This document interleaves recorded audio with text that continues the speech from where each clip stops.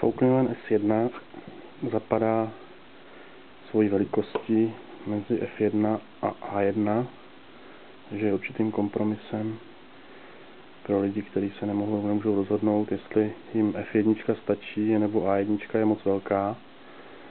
Každopádně tohle je nůž,